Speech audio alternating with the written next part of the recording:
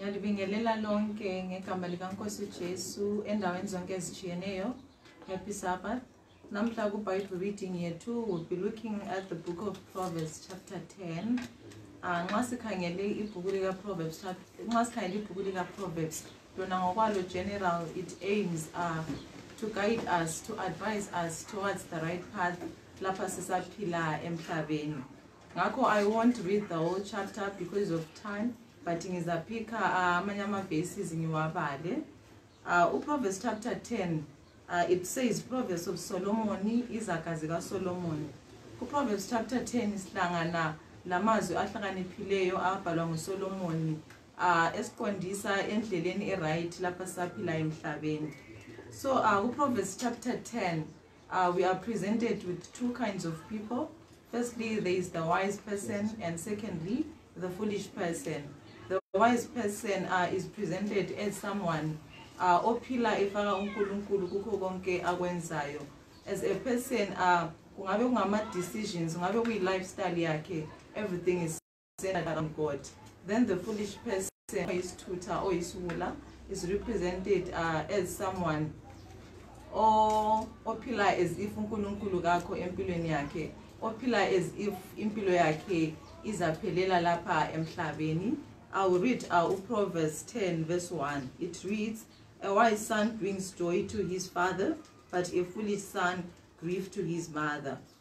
okay uproverbs chapter 10 verse 1 singathi awuxwayisa uh, abantwana kakhulu ukuthi umntwana uh, ophila elalela konke abazali bakhe abamfundisa khona uletha intokozo ebazalini but lowo ophambuka emfundisweni abazali bakhe uh, uletha ukudana kakhulu ebazalini so nxa sikuletha kithi uh, ku-spiritual life yethu singathi unkulunkulu god our father akathabi nxa siphambuka endleleni lapho kumele sihambe ngayo nxa singalaleli imithetho kumele sihambe ngayo akathokozi but uh, then the first part besisithi a wise son brings joy to his father but nxa sihamba ngokuqonda silalela imithetho yakhe kuyamjabulisa unkulunkulu kakhulu then uverse 2 ebesesithi ill-gotten treasures are of no value but righteousness delivers from death uh, uverse 2 proverbs chapter 10 verse 2 i will say it is a call for repentance ukuthi kungabe kuyinotho yonke esiyithola lapha emhlabeni ngendlela engayisiyo kungabe kungama-illegal dealings uh, that we are involved in kungabe kuyi-corruption esi-involved kiyo lapha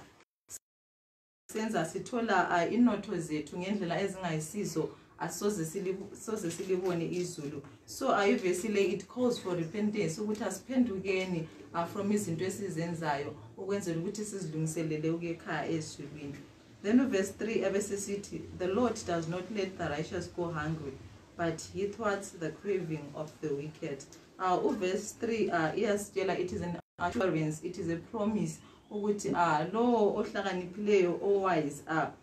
ohamba ngokuqonda phambi kukankulunkulu unkulunkulu will take care ah, of him ah, ivesi leyi iyasitshela ukuthi god takes care of his own kungakhanya ah, laba abahlakaniphileyo abahamba ngokuqonda as if they don't prosper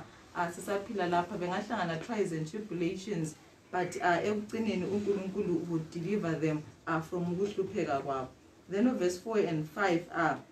ikhuluma uh, ngegift of time that God has given unto us uh, ithi yona lenzi hands make a poor man uh, but diligent hands doing wealth verse 5 he who gathers crops in summer is a wise son but he who sleeps during harvest is a disgraceful son so uh, uvesi 4 and 5 uh, usitshela nge-importance of time ukuthi unkulunkulu usinike isikhathi sokuthi sisebenze emini uh, lantambama singalali uh, singabi ngamavila iyasitshela livesi ukuthi kumele sisaphila emhlabeni singabi ngamavila sisebenze kungabe kumbe kusemsebenzini yethu kungabe lapho esihlala khona kubomakhelwane asithumayeleni ivangeli asidingenini amasozi siwalethe uh, kunkulunkulu then uverse 17 ebesesithi he who hits discipline shows the way of life but whoever ignores correction leads others astray uh, uverse 17 uyasitshela ukuthi the wise person uh, Uhamba ngokuqonda, uyavuma ukuthi acorrectwe, uyalandela iBhayibhili elisitshengisayo elisicorrectayo a indlela zethu esihamba ngazo lapha sisemhlabeni. Ngakho ohlakaniphileyo a olandelayo ovunya ovuma a uku ukuqondiswa uzalibona a ikhaya ezulwini. Then the last verses of Proverbs chapter 10 from verse 25 to verse 30 akhuluma ngesalvation ukuthi a I will read uh, Proverbs chapter 10, verse 25. It reads, When the storm has swept by, the wicked are gone, but the righteous stand, stand, for, stand firm forever. Okay, verse 25, usitshela ngesalvation ukuthi uh, those abahamba ngokuqonda phambi kukankulunkulu the wise abahlakaniphileyo abalandela uh, imlayo yakhe lapha emhlabeni uh, bazadlula uh, from trials and tribulations uh, elapha emhlabeni but ekucineni unkulunkulu uzabasindisa ngiyabonga asikhulekeni baba wethu osezulwini kwase sithanda ukubonga ukuthi usibusile kwase kwafika lesi sikhathi singabaphileyo sithanda ukubonga for ibible reading yethu esithe saba layo esifundisayo ukuthi nxa sisaphila lapha emhlabeni sibe ngabawayizi nkosi esiphila sifaka wena kukho konke esikwenzayo ukuthi wena ube yi-center of everything empilweni zethu sibusise nkosi ngiyakhulela nthandile kuwe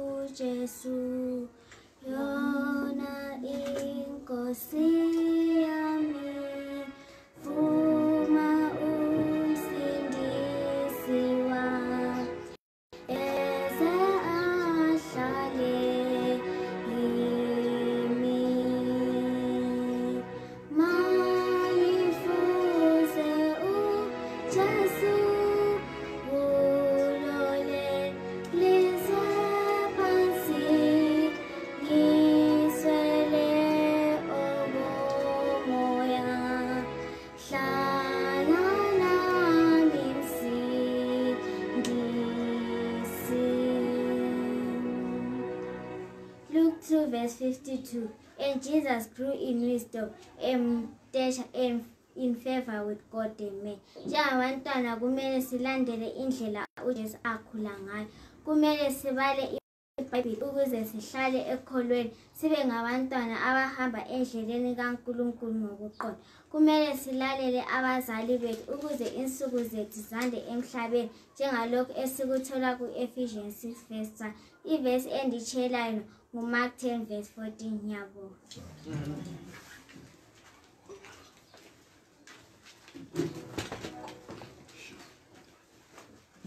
um bazalwane elisendaweni ezehlukeneyo labanye ndlabo lapha ngenxa yalokhu ukristu angenzele khona kumbe asenzele khona sonke um ngizwe ngiqombeqombele ukuthi ngibhale leyi ngoma engizakuyethula kathesi imayelana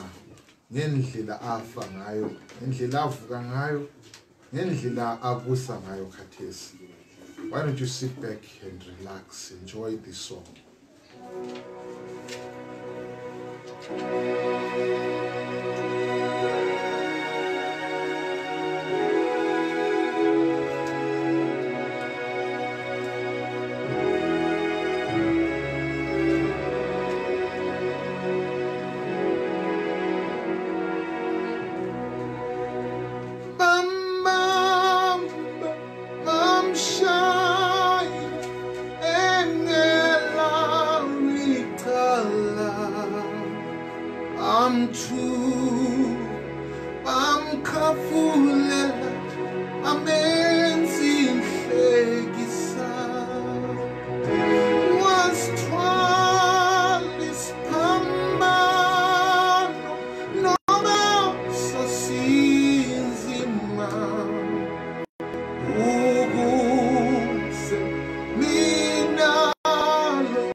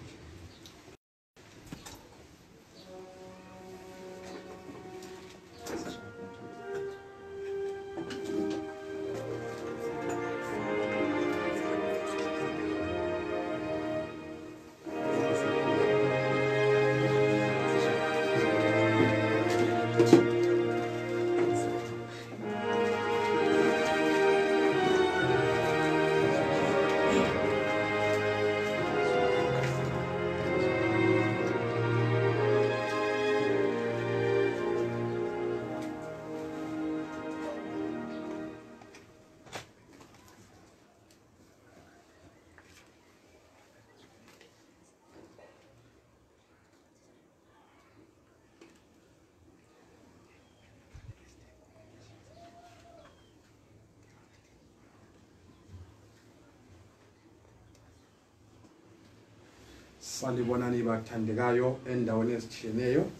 sithanda ukubonga usuku lwangesabatha ujehova siphe lona sibonga the beauty of fellowship and the beauty of summary ya yeah. xa amachacho ekhala kanje eh kungumhlola mkhulu kubana ngelinye ilanga lapho siyahlangana khona kuyabe kuyakhala amachacho eh usolo nxa wayefikela kulidimoni kulokudla ulakho konke nothing could chase away that kind of a demon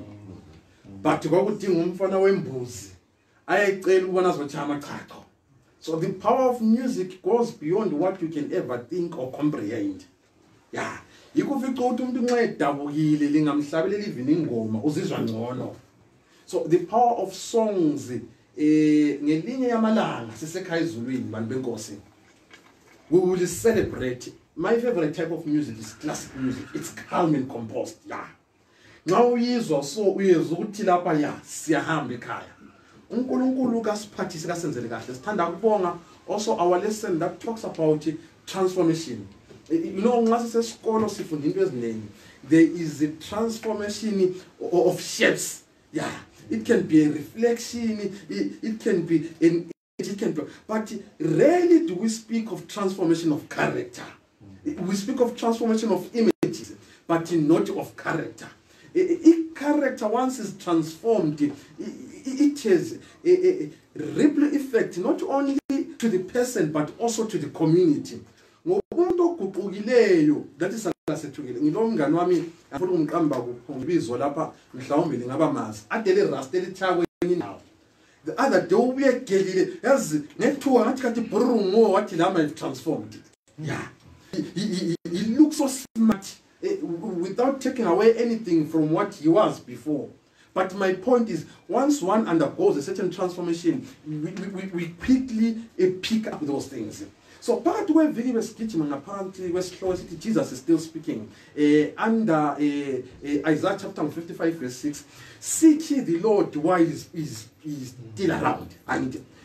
god is still speaking sathinta ukuthi unkulunkulu ngunkulunkulu kagenesis the god of origination the god whois the source of life the god of the bereshit eh, eh, eh, the god of the great exodus god is interested in the movement of young people ya ingazo kunxa zihamba god is interested because it is god who directs the steps of a righteous man sathinta this is the god of the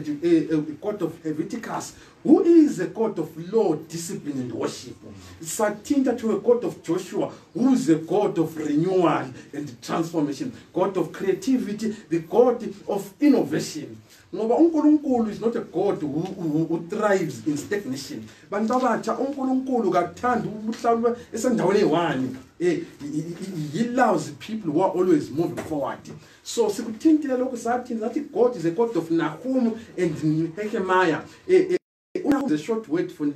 nehemaya unahum esithi wena consolation but unehemaya esithi comfort sakuthinta ukuthi kutshoni empilweni zethu vumanini abantu abatsha um ngenxa yesikhathi ngisayile nje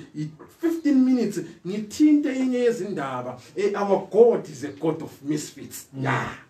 is a god of misfits ngiyakwazi omunye uthe ekhangela iflawa wabusa kathi unkulunkulu ngunkulunkulu bani when is a god of excellence eh, is a god of beauty but lamhla bese kuthiwa is a god of misfits eh, eh, sisithini nxa sithi our god is a god of misfits bantatsha kasibeni kuleli dlo umthandazo baba osekhaya ezulwini siyabonga likuseno siphe yona as we speak of your word dear lord bless us abundantly sincedise interpretation eh, le discernment konke kuvela kuwe ngelakho igama siyakhuleka amen eh zwana ke mbali verse yodwa bese sikuthinta nini uthi yona ngo Psalm chapter 2 eh verse 17 he who has an ear let him hear what the spirit says to the churches to him who overcomes I will give him of the hidden manna to eat. And I will give him a white stone. And on the stone, a new name written which no one knows except him who receives. Yeah. zvanini vandavacha when you speak of god of misfits uya kufika endawoni wo ndava vele eh, uya zame ukwana kaukwani ya eh, there are places no matter how educated you are kaukwani endawoni yavanya vantu uzame yonke indlela yikho futhi ukuthi kuleminye imitshato ebuya strictly by invite mm. not only by invite ibisicategorizer ithi vivi vip vip yazi ngayingathenda omunye umtshato it was strictly by invite but phakathi there was classification of people as well mm. ya kwakufake ezinye intambo zatshengiswa kwathiwa laba yiziphatha amandla ezinkulu lawo lokunxuswe by invite kodwa uhlala la Yeah. So there is classification everywhere we go, even within a society. Yikho phela kulabantu okuthiwa ungozozo ya even ibizo ungalifuni komunye umuntu unguzozo ya yikho fica ukuthi le mpahla zile classification eh, kulezinye impahla uthi nxa uzigqokile vele kawukhulumi ziyazikhulumela classification yikho kuphela kulompedzanamo even uhamba laphana nxa ugqoke umpedzanamo kwesinye isikhathi kusegcekeni ukuthi ngumpedzanamo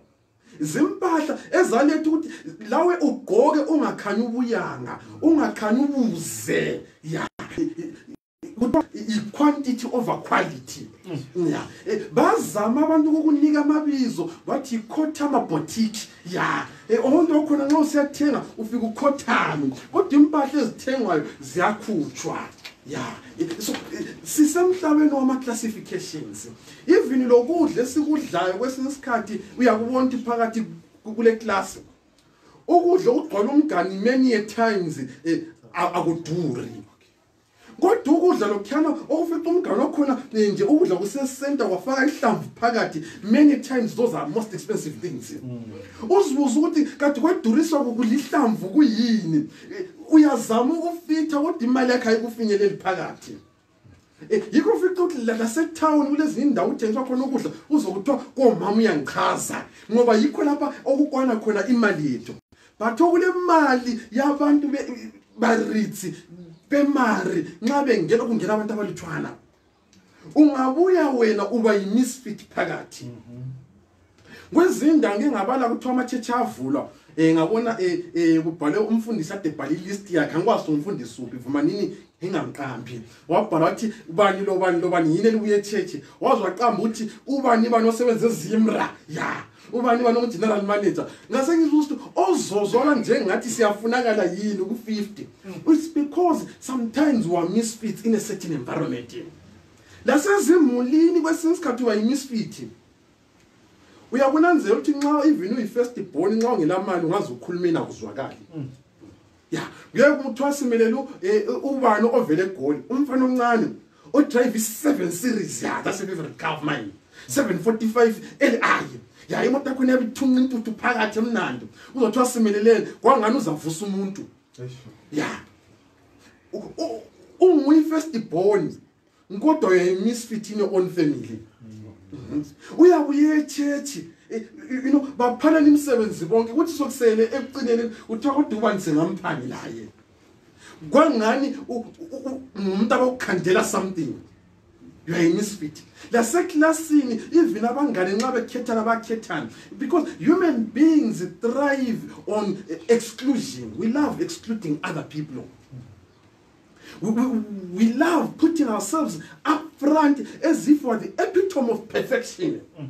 Yet the only epitome of perfection is Jesus, who's the author and the finish of our faith. Yes. Who, for the joy that was set before him, he endured the cross. Mm. Eh, eh, let this mind be in us, which was in Jesus Christ, right. Oh, who, being equal with God, did not regard it irobbery ukuthi ayehle ya thina kasizehlisi ya ya ukuthi uyehle nje ufithe endaweni ufuna ukuthi abantu bafithe kuwe ya eh, uJesu eh, nxa ngam uqombe lamhla uJesu ngathi uyibhobhojane yabona isipano kuthiwa ibhobhojane kasela ukuthi isayidle encane kumbe enkulu you just adjust so ujesu uya-adjusta yehle empilweni zethu to our own level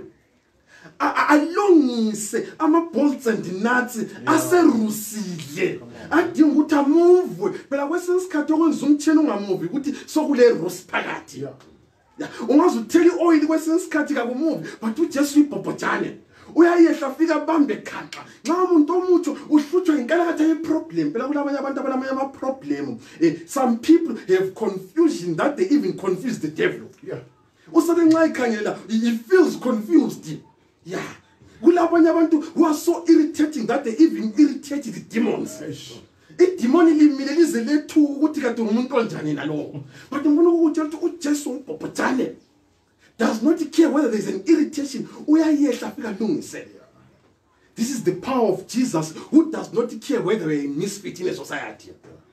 sikuthatha ngaphi lokho nxa sisehlela indaba yethu there are many people who are classified in the bible uh, who were misfits yeah. uJesu wehla wakulungisa uyakwazi ukuthi eh nxa usuka ku transition sithe sicina izolo bantu abatsha eh, ku platform yethu sithinte indaba ye suicide sedlula nxa ule transition between malaki ungayibala kuhle kuthiwa kwahlala 500 years between that transition of the old testament to ngapha bengakuthinta historical factors mali ngakuthinta lamuhla nxa ibhayibhili liqalisa likuzwisenini kahle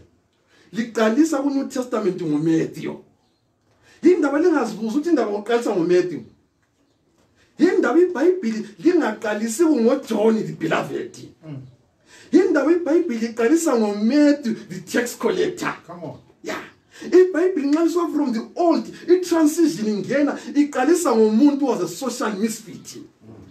umet was a tax ungathi tax collector wangangilibala elimnandi was a republican ya yeah. Eh, eh, ayikhona irepublican from the american politics from the context yamajuda erepublican wawungumuntu ongcolileyo kufana nebala elithi nxa ungalibala emuva uthi eblesa wawungani into enhle kodwa lamuhla ungathi blesa uyawazi umuntu ongcolileyo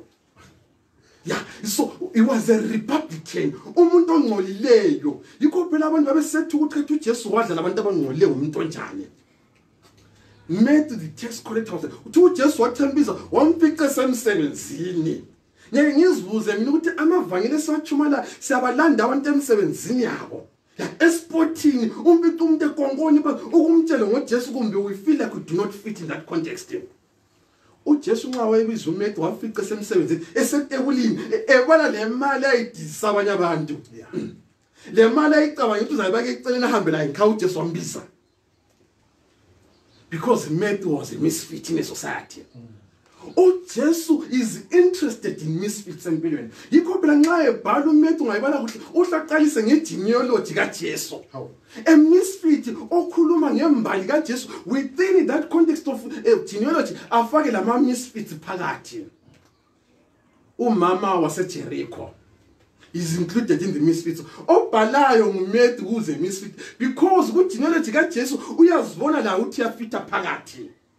kulabanye abantu ethi nxa bekhuluma ngevangeli kababoni abanye abantu befitha babona bona bodwa kuphela befitha yikho vele besikhuluma ngendaba yama-experiences umuntu athi a-experience a-phd yiro akhohlwa ukuthi ujesu is the redeemer we have dangerous people abanjalo so umuntu nxa eqalisa igospel uhlaqase ngegenealogy because within the genealogy there are misfits yeah urahab was a misfit but grace located here ngifuna ukukutshela ukuthi even uyi-misfit of the society grace can locate you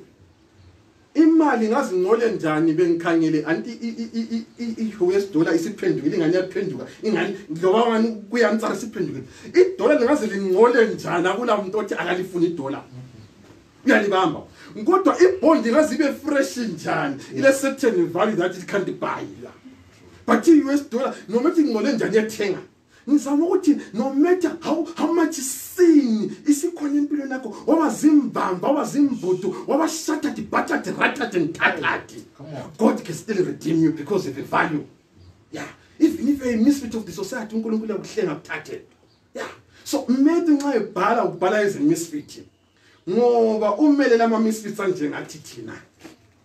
bantu abatsha sama-misfits entweni eziningi nxa uyibala kuhle nguromans chapter ngu-3 uthi while we yet sinners god fought for us and died for us while yazi ngithanda i-king james version uthi while we yet enemies of god because unkulunkulu uzonda isono when i-earth sinned it became a misfit in the universe yikho phela nxa sihlabeni ngoma yonthi zazingamathumi eh, eh, they were hundred of the hundred ninety-nine remained one was lost because earth became a misfit unkulunkulu conceive is the given up on earth as a misfit but god felt it yikho sithi what kind of love that a man has that he will lay down his own life for a friend yikho lesi sithi i have called to my friends not the servant Yeah. Because earth was a misfit. Vumaninski phambili our God is also a God of local. Eh ngifuna nikunanze lokho. Do you know that Luke was not a Jew? Luke was a Greek. Ngesikhathi sika Jesu abantu bezizweni they were misfits. so nxa usuka from eh, eh, nxa usuka from mark nxa usuka from eh, nxa usuka from matthew usiya kuluku kubhalwa ngumuntu uze misfit in society iclassification yetribalism ya phela kulezinye indawo othi no matter how educated you are isibongo sakho siyakutshayelela phansi because youare misfit nxa ungela sihlobo kwenye indawo kawungeni even nasemhlabeni esikiyo not only zimbabwe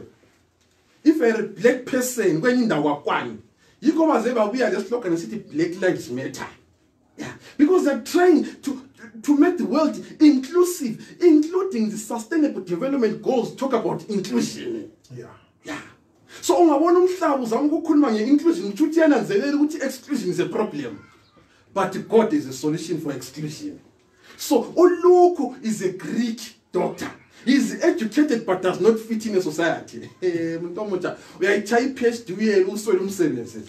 kubuye umuntu ongena na-five olevels angene isihlobo sikabani kaningi kabani umngani kabani angene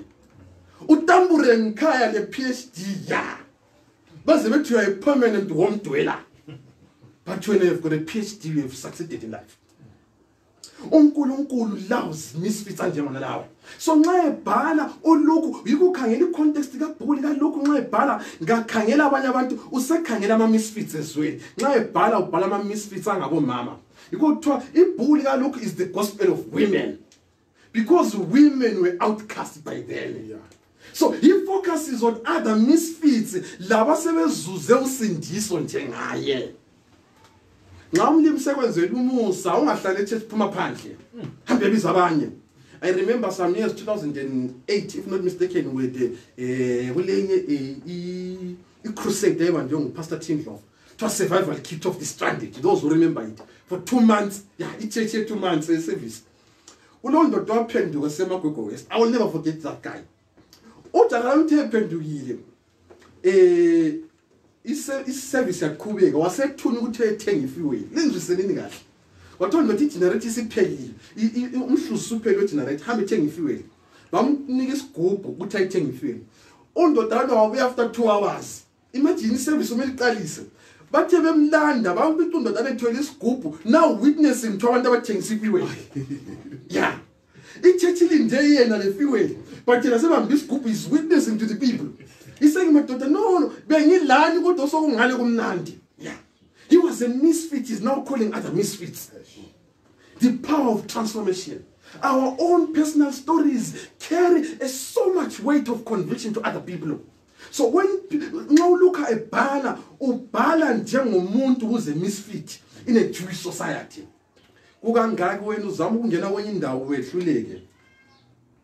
uye kuprayer band umlimi akunike ibreakthrough to go back to other people who have the same challenges as well so unkulunkulu nxa ebhala ukubhala ezama ukuveza ukuthi there is a, a place for every misfit yikho sithola phela indaba of the cananite woman indaba ongazuzwe into indaba ecanada noma na uyitholi kwenye indawo uyithola but in the gospel of lugo mm. umama wathiwa angeke nginike ukudla kwabantwana nginike izinja ya abantu uyakwazi ukuthi those that are doing sociology and human scientific behavior before umuntu nxa ifuna ukukubulala he reduces you from humanity to a level of an animal a good example nxa umuntu efuna ukukubulala kaqala athi wena muntu uyakunika ibizo lenja athi wena who athi wena ngoba ufuna ukukudehumanize engakudehumanize then he is able to live with his own conscience yokubulala to him kabulalanga muntu ubulela inyamazana but ujesu xa ekhuluma ukhuluma in a society that is dehumanized other people to a level yezinja azehlisa ujesu anika ukudla inja uzibe ngumuntu kukangaka udlula wena esigabeni abantu bakuthethise bakutshela ukuthi lokhu lalokhu but let me tell you something there is a place for you in the kingdom of heaven mm. god is able to heal you because our god is a god of misfits dlula nini ngigijime ngephambili nxa usiya phambili layo kamfuna ukuthinta eh, indaba ukamark and ujohn ngifuna ukuthinta indaba yabanye abantu ujesu abathintayo eh kulondoda othiwa nguSimon Dizilothi isikhathi sami sesibalekile uSimon Dizilothi eh eh ngumuntu owayengcolile nxa kulabantu abangcolile emhlabeni ngama politician hmm. ya eh, eh, uthintile lapho bengilalele uthi yazi ukuthi even politician ngabuya no matter how much convicted of the holy spirit we are always in doubt of those people so uSimon Dizilothi was a former politician ujesu wamfica esesitikini wayibala kuhle indaba kasimon the zireti they were rebellious people ngabantu ababethande zombangazwe ngabantu ababekhuluma ngesizeshini ngabantu ababekhuluma ngolimo lesindebe kuthiwa kasiliqumeni imilizwe ya yeah abantu abehlale begqoka into zabo but umusa kajesu wamfumana ephakathi ethwele izikhali ya wamkhupha wamenza one of the disciples guess what happened he became simon the zealot of the gospel mm. umlimi uyakutransforma emadlozini uyithaye ingungu uyihosane ethenjiweyo ya uyithaye izulu ibone libambe emkhathini phezulu umlimi akulethe abantu baphenduke umlimi uyakukhupha phakathi bobunyama ya ugidemana abantu baze bajikela yonke imali including yokugada baprefe yokubuya ngenyawo bekubukela ugida umlimu can transform your life kunabanye abantu uyazi ethi ngakukhuphela inhlawumbi yaphosa ukuthi inxenye nguye obhala icurriculum yakhona god can able to transform your life ube le curriculum yezulu because god specializes in misfits besibonge emalangeni ukuthi igodini ngumuntu avalwayo ngoba wakuphuma laphana hayi kwakuphuma okunye kukhona kodwa ujehova wathinta abantu bakhe abanye because our god specializes in misfits vumanini ngigijimelayo bebaningi ngabathinta kodwa kulo munye umuntu nxa sikhangela isikhathi okumele simthinte nini um eh, in the book of helmon kulo jaha othiwa ngu-onesmus the runaway slave i think many of us know him as onesmus the runaway slave yeah uyakwazi ukuthi e, even uso right ibizo vele lihlala kulikhona honest master rana weslave so ufilimoni ngumzalwane ethe ngumzalwane umuntu amthembile ambalekele nxa embalekele uonesimus ayitshayisana kukule vangeli nxa itshayisana le vangeli umpostoli alitshaya ivangeli uonesimus akhumbule ukuthi ulalapha aphambanise khona ungayikhangela kuhle ukuthi umposto paul nxa ibhala ibhala kuhle incwadi ubhala to you philmon beloved in christ umamukele u-onesimasi not as a slave but as a brother ya yeah. kukangaki thina abantu abasoneleyo nxa sebephendukile evangelini we still make the misfits even lasechurch mm. ya phela yaze sabatheni kwesinye isikhathi abantu baphuma babingelelana usala uyi-one ubuye first duke second third duke uyachiya ya kwesinye isikhathi uthi uyahlala lapho omunye athinta ahlale ngabo because they are still holding on to your previous life kulabantu uspecialize in previous records of other people but umpostoli paul nxa ebhalela ufilimon ebhala ngo-onesmus he's saying accept him as a brother because there is a new beginning in christ Mm, if somebody tries to remind you of your past tell them that you are where you are because of a past that was transformed by jesus christ ya yeah. kulabanye yeah. abantu phela um eh, uyakwazi ukuthi even xa when god is elevating you taking you from one place to another they will always want to have a ph d pulling down syndrome or saying vele ungakhohlwa uthe emuva you were like this remind them that i was like this so that mercy can locate me and grace can find me mary magdalene he had seven demons ungabona kuhle indaba yakhe kuthiwa mary magdalene was from magdala with the seven demons akubona amadimoni amancane phela ungathi uhlotshwa lidimoni elilodwa ya idimoni elilodwa what more of seven but umusa kajehova wamfica wamlokhetha wamkhupha hence mary nxa kubhalwa nguye waqala ukubona ujesu others tried to remind of the past but grace located her yet she was blessed to see the risen savior ngikhuluma lo onesima sonlaleleyo lamhle kuseni ngulalapho abaleka khona wathi uchithe i-relationship yomunye umuntu abantu abatsha phela we specialize eh, eh, in transformation eh, and destruction of other people's relationships ya yeah. nxa ulo muntu wakho i-b f yonke iyabuya ya yeah. to try and distract kulomunye umuntu engikhuluma layo uze onesimas today wadiliza ama-relationship abanye abantu go back and say i am sorry so that the kingdom of heaven may have a place for you our god is a god of restoration our god is also a god of rebuilding the lost foundations like we said i'm talking to onesimas namhle kusene onesimas kuyalapho asuka khona emsebenzini ubalekile utshontshile ya yeah, umoshile emsebenzini onesimas e, even if the world sees you as a misfit but before the throne of grace there is enough saving power when god has served you go and confess your sins we like to thrive on forgiveness but we do not want to, to, to look at rehabilitation of relationships ya restoration and healing bantu abatsha kanithanda ukudonsa ngenxa yesikhathi sithintile phakathi kweviki sathi our god is a god of jeremiah sathi thina our god is also uh, the god uh, of nahum and nehemiah when we say our god is a god of nehemiah sitho ukuthi even if you were regarded as a misfit unkulunkulu uyadiliza eh, ama-foundations amadala afake ifawundeshini yezulu ukuze nxa ukhule entweni zakomlimo you are able to bear the fruits of the spirit you are able to be transformed because heis a god of restoration heis a god of renewal heis also the god of hope muntu omutsha likuseni lapho esilalele khona unkulunkulu ingane ngaliphathisa alenzele kahle even if you are regarded as a misfit somewhere know that the kingdom of heaven there is a place for you the prodigal son wayile mali yonke ongayicabanga isaka lonke kuthiwa abafana nxa bekhuluma kuthiwa wayile saka lonke ya izaka lonke imali yonke engaba layo but nxa uyibala kuthiwa imali yathi isiphelile yi became a misfit even to the pigs themselves ungabona usehlozi wafika ezingeni lengulube ngangikwazi ukuthi yabusinjani kodwa igrace located that misfit and transformed ibhayibhile ithi there is joy in heaven when one sinner repents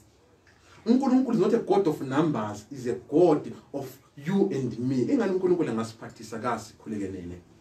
baba wasekhaya ezulwini siyabonga ilizwe osiphelona namhla ekuseni endaweni ezithiyeneyo we are misfits one way or the other kwesinye isikhathi sithi sigqokile kade vele sinqunu njengebandla lasehadokiya kwesinye isikhathi sithi silakho konke kade wa very poor of the poorest mlimo sicela usiphathise ezimisfits help us each day kasila amandla okuzisindisa kodwa amandla asegazini likaJesu Kristu because there is power in the blood of Jesus simncedise siphathise labalaleli endaweni ezitshiyeneyo transform us and give us a new name so that we become better people for this world and in the world to come in Christ's name we pray amen, amen.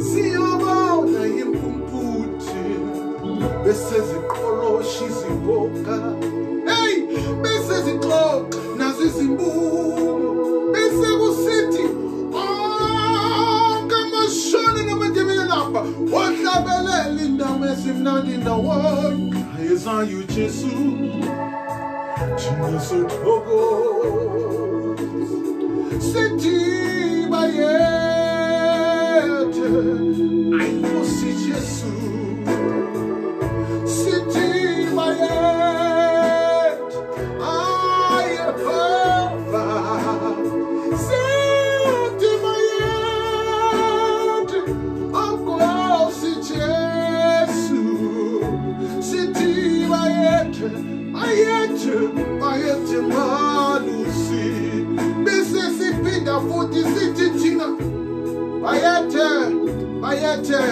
bayethe wena nkosi jesu abanye abantu bakubiza umbusi wababusi abanye bakubiza uthixo kodwa ibizo lakho eliqotho wena ngujehova usibawothi nkosi yamabandla kungalesi sizathu thina sihalalaza singakhabazi sithi halala halala halala halala halala wena nkosi jesu halala wena mntwana lamathwana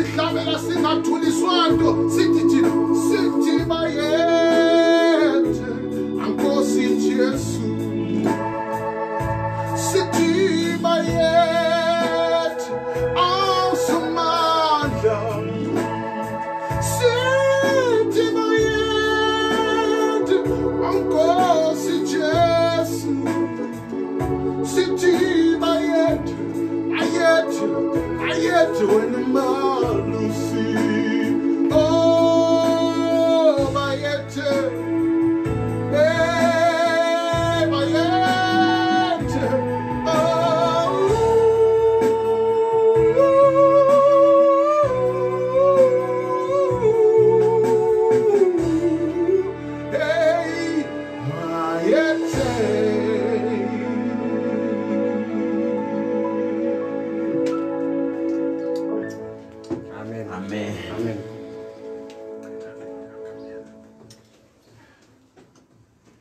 Em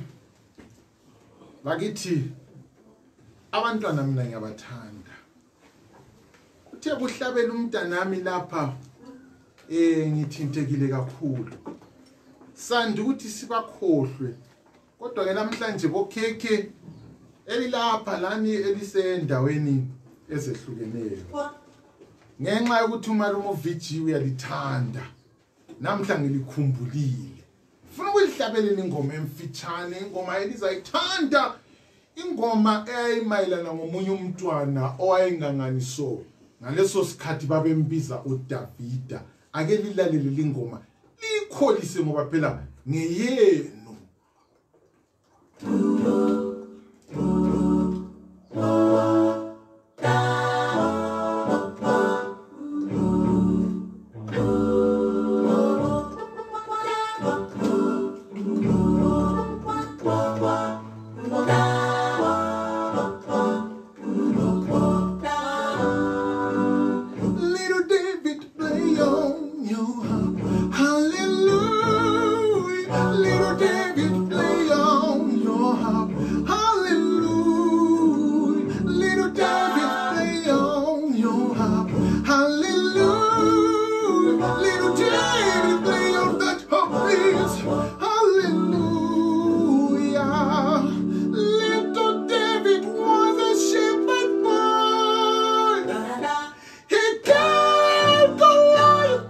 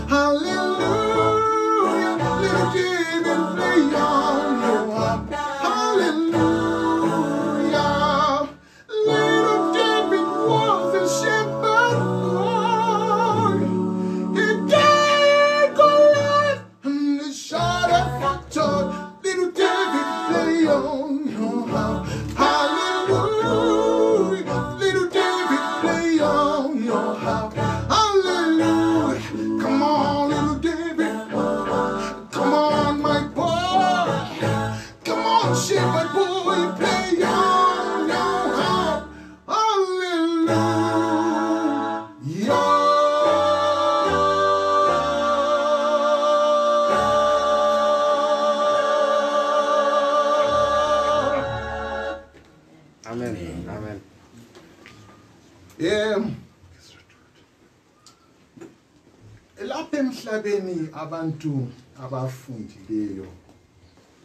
nxa bekhuluma bathi kulezimanga ezinguseven ungavele ubalalele bekhuluma ngesimanga sakuqala abathi ngomduli wechayina uyamangala bayiqalisa indaba yangikhona kusile beyixoxe ilanga litshone liphume litshone belokhu bebabaza into leyabathi yi-great wall of china ngaleso sizatho abantu amaningi ngenxa yokuthatheka bayaseva izimali emakhaya you know bezenqabele ekwenzeni zonke lezi zinto beyisevele ukuthi ekupheleni komnyaka beyibonga beyibona isimanga somduli wechayina lapha ke kwele Zimbabwe silesethu isimanga laso umhlaba osibabaza kakhulu okuthiwa yi-victoria falls bathi bona abantu nxa sebezathathana uyezwa umntwana womuntu ekhuluma ethi dala ukuze ngikhole ukuthi uyangithanda akungithathe ungise evictoria falls it's as if ivictoria falls iyikhiyi yothando bathi lamhlanje sizwile ukuthi hayi key yothando kanti uthando loqobo nguJesu Kristu ngokwakhe mhm. ke namhlanje mina ngitheke ngilitshele ukuthi kulezimanga ezingu8 isimanga sesi8 yileso ukuthi you see ngesikhathi ngiseseyisoni ngesikhathi useseyisoni ngesikhathi siseseyizoni sonke bakithi uKristu wasithanda sesizondakala emhlabeni sesizondakala lasezulwini amanye amaplaneti engasafuni lakuzwa ngathi sasesibanukela sasesibathiphele kodwa ibhayibhili lithi unkulunkulu waselithanda ilizwe kangaka wasenikela indodeni yakhe ngujesu kristu uze ngulola lowo okholwa kuyo angabhubhi kodwa ebe nokuphila okunaphakade ngaleso sizatho ngizahlabela lingoma emfisa ukuthi siyikholise sonke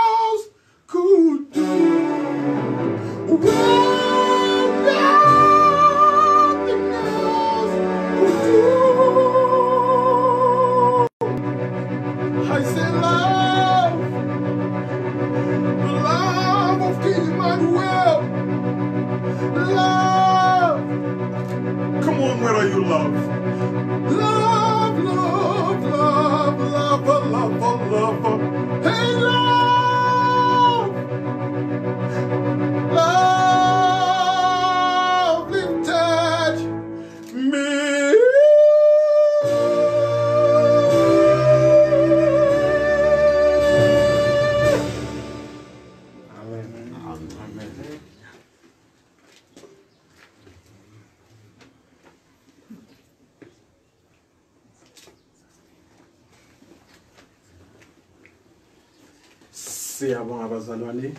iphimbo elimnandi esiliphiwayo one of the best music that we have ever heard on this planet earth siphinde sihlangane Pillayo on our facebook page follow us on Makandeni sda church facebook page and also follow us on lobengola main sda page there are a great number of uh, events that will be taking place during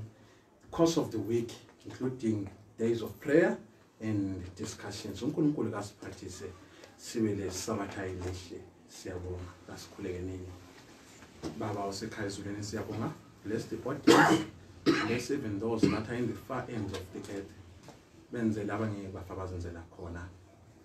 may such words of inspiration and the music comfort and console them grant them that that they cannot do for themselves